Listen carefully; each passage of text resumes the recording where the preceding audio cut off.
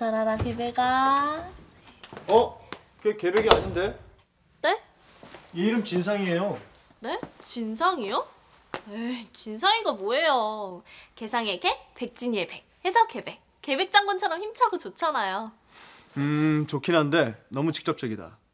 저희 진상이로 따지면 진이의 진과 개상의 상자를 쓴 이름으로 옛날 국왕에게 진상한다는 건 그만큼 귀한 거니까 그런 열매를 맺으라는 메타포를 담은 이름인데? 메타포요?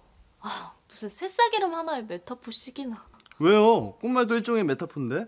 장미가 사랑의 메타포니까 고백할 때 그 꽃을 많이 쓰는 것처럼 우리 새싹은 아직 뭔지 모르지만 귀하다는 의미를 부여하는 거죠. 어떤 단어마다 상징하는 메타포가 있잖아요. 뭔지 잘 모르겠지만 제 이름에 진 자가 먼저 나오니까 좋네요. 진상이라고 부르자 뭐. 내가 받은 코트가 이거랑 이거거든? 아 세일이 다음 주까지인데 뭐가 더 이쁘지? 내가 보기엔 앞에 게 너랑 더 잘 어울릴 것 같은데? 그래? 뒤에 것도 나랑 너무너무 잘 어울릴 것 같지 않아? 아, 난 왜 이렇게 옷빨이 좋아서 이런 고민을 하는 거야. 정말 모델 같은 몸을 가지고 사는 것도 너무 힘들어. 학생 키가 3cm나 더 컸네요. 그래서 불편했나 보다. 오, 3cm나 더 컸어. 대박인데. 그래도 너 따라가려면 멀었지.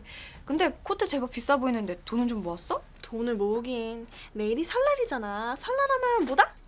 설날하면 까치? 까치가 까치 받는 소리 하고 있네. 설날하면 바로 세배, 세배하면 세뱃돈.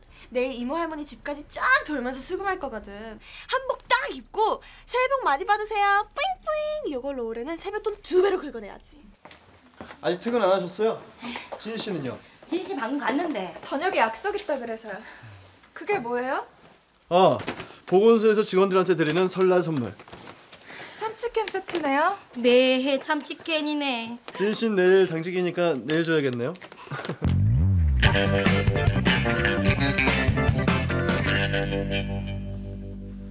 어, 왜 떡국이 아니라. 생일 축하합니다. 생일 축하합니다. 사랑하는 백진이 생일 축하합니다. 진이 좋아하는 불고기 많이 했으니까 많이 많이 먹어. 근데 언니는 오늘도 출근해요? 어, 당직이라. 오늘 생일인데도 설날인데 꼭 당직 서야 돼? 바꿔달라 그러지. 어차피 친구들이랑은 어제 저녁 먹었고 집에도 안 내려가니까 오늘 할 일도 없어요. 안녕하세요. 에브바리 까치까치 설날. 새해 복 많이 받아. 근데 여기는 왜 떡국 안 먹고 미역국 먹어요? 오늘 진현이 생일이야. 진짜?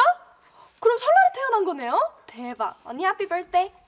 설날은 음력이고 진현이 생일은 양력이니까 설날에 태어난 건 아니지.